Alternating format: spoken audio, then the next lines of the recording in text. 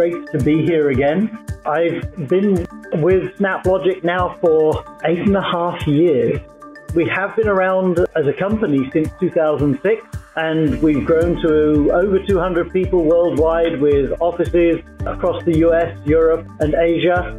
One of the important things is that 1.3 trillion documents a month that traverses our platform.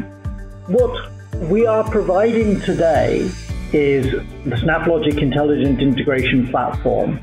We are a platform that delivers a whole host of different application styles, whether it's application, data integration, data engineering, data science, as well as the uh, slightly adjacent capabilities of API management and B2B integration in a single unified platform we have a single user interface that addresses the needs of multiple different personas, right the way through from the integration specialist to the other end of the scale, uh, the citizen integrator or you know, the, the people in the lines of business who are integrating for their job as opposed to supplement what they're doing already with the applications and things that they're working with. And importantly, for any enterprise today,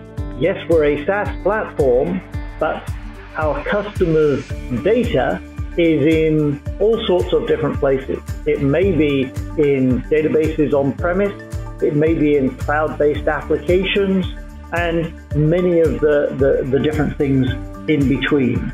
All of that with that enterprise grade stability and uh, enterprise uh, thought process going into it. The SnapLogic IIP, the Intelligent Integration Platform, SaaS application manifests through a web browser, so there is no software to install when you use SnapLogic. You can, in fact, sign up for a trial directly on our website and get access to SnapLogic within minutes.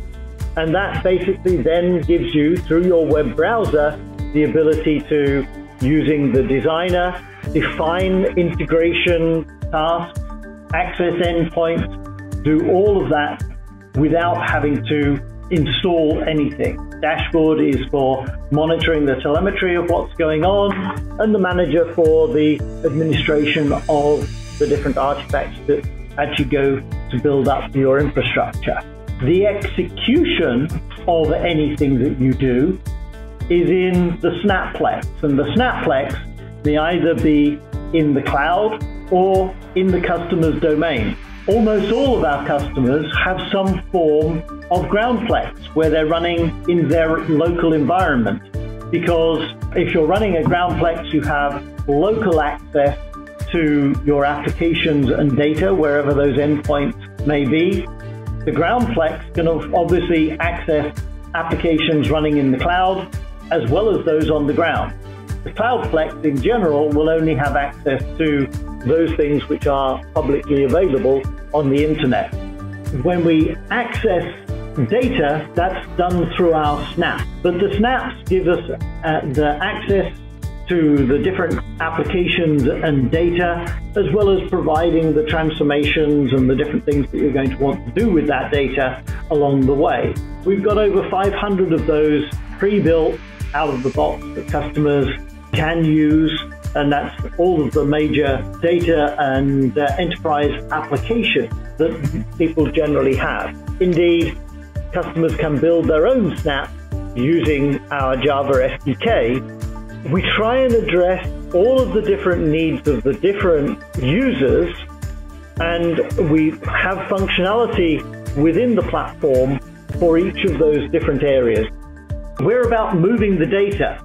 So you define in your uh, pipelines what the endpoints are going to be, and we will we will provide movement and transformation to get it between those different endpoints. We don't by default store the data ourselves at all.